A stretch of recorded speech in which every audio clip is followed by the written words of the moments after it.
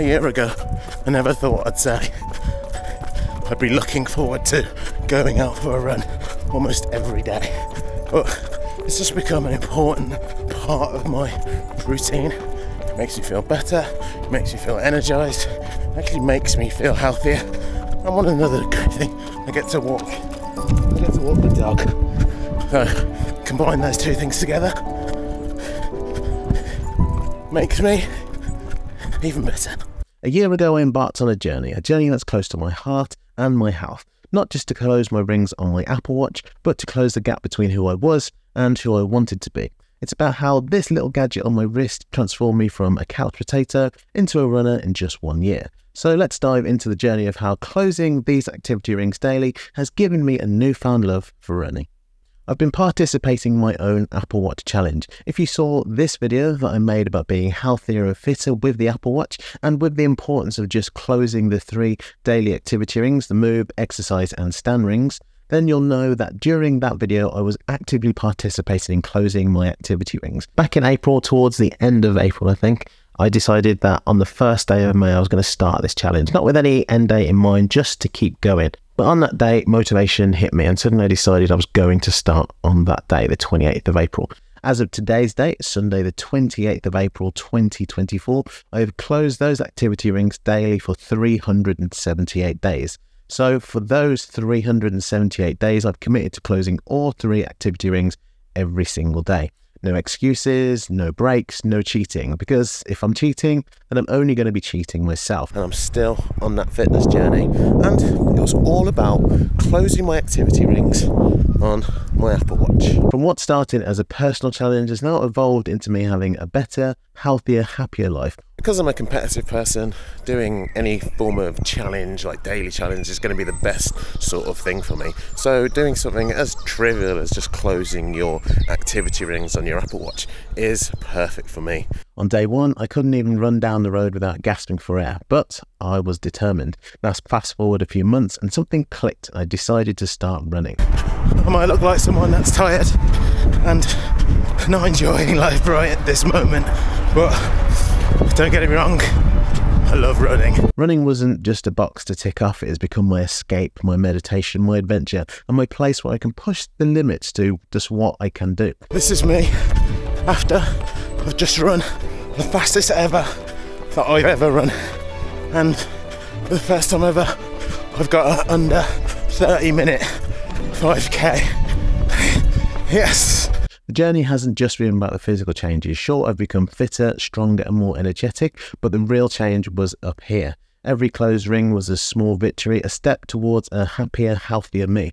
I went from running out of breath to now running five times a week and actually missing the fact that on my rest days, I'm not running. I've learned so much about myself. I pushed past limits I thought were unbreakable, and I found the joy in little things. The rings on my Apple Watch have become more than just goals, they've become reflections of my dedication, and I get a daily reminder of that dedication. Many critics will say that the algorithm of how the Apple Watch works out its metrics is inaccurate, but when applied correctly and as a source of inspiration for a better you, there is no better tool. Smartwatches have saved people's lives, and I don't know whether I'd be in the same, much better mindset if it wasn't for everything that I'd said in that first video. Even if I can do 30, just 30 minutes a day, it makes a big difference. I found that setting small goals can help. For example, I might go for a walk for 30 minutes a day, do 10 push ups and 10 sit ups a day. Anything active counts. If a healthier me means I'm going to be able to live longer, be able to kick a football around with my future children without getting out of breath, and be a more positive, happier person for the people around me, then there is no critic in the world that is going to be able to tell me that these things aren't good for you.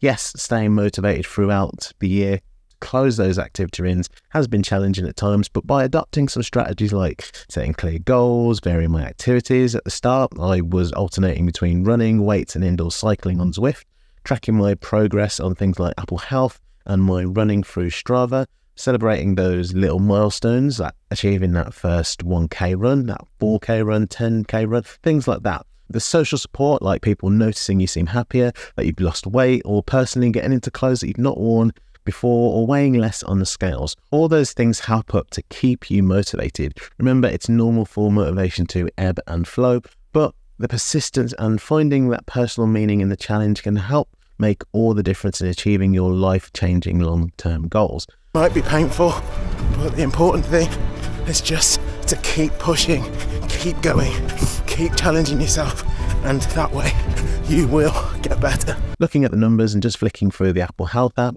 over the year I've lost weight, reduced my resting heart rate and blood pressure, and improved my sleep.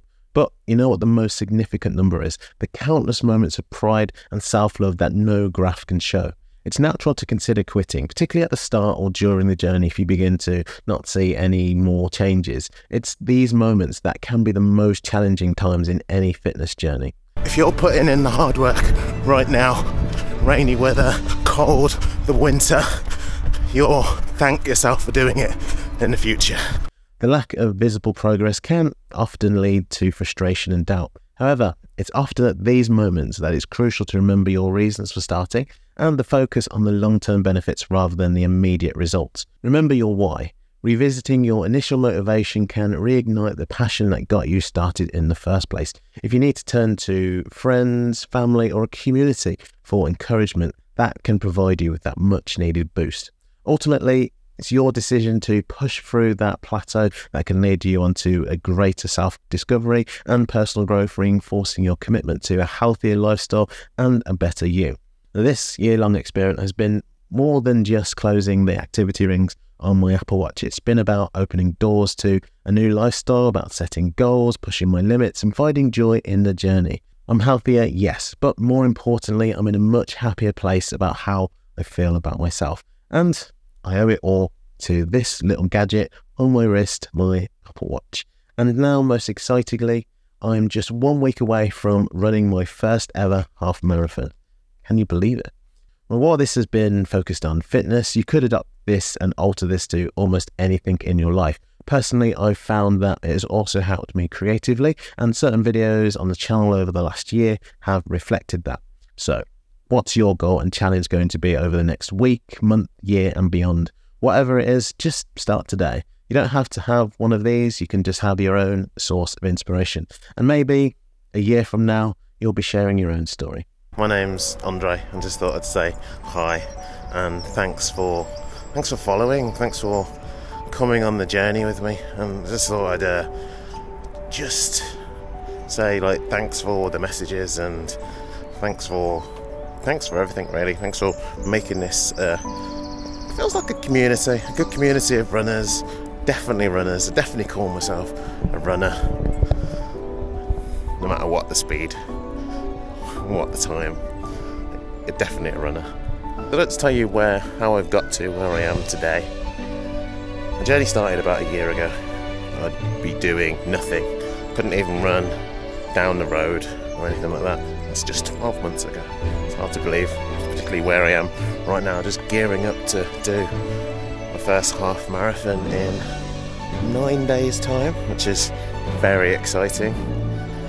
But anyway, I so about a year ago, I decided to. I'm up, I'm always up for a challenge, and although it sounds quite trivial, you know, when you when you close your activity rings on your on your Apple Watch, that does it for me. That's that's quite motivational for me at the start.